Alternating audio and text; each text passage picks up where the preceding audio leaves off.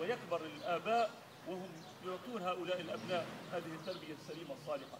لذلك نحن بعد إذ لم يتسع للإنسان منا لعله فرصة معينة أن يكثر من برهما يكثر من طاعتهما يكثر من الإحسان إليهما. على الأقل إذا فاتتنا هذه الفرصة يجب ألا يفوتنا ما قال عنه النبي عليه الصلاة والسلام إذا مات ابن آدم انقطع عمله إلا من ثلاث صدقة جارية أو علم ينتفع به أو أو ولد صالح يدعو له.